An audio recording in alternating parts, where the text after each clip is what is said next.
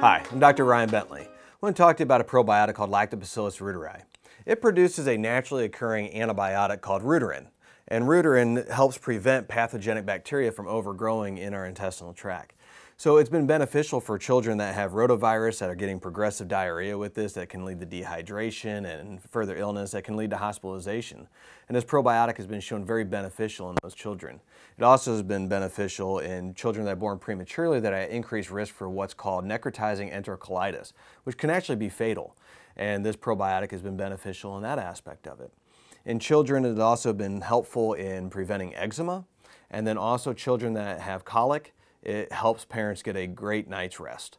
So this is a probiotic that is definitely promoted amongst children uh, because some of those health benefits that it already has.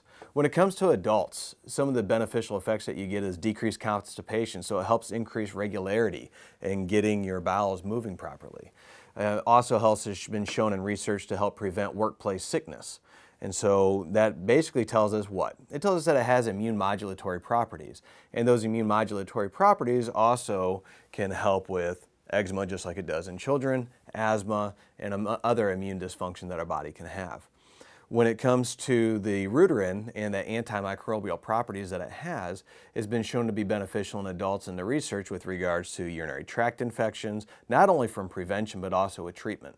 And then also the treatment for H. pylori. So again, I use the word treatment loosely here, but what I'm saying is that the research is definitely indicating that Lactobacillus reuteri definitely has shown an inhibition of the growth of H. pylori.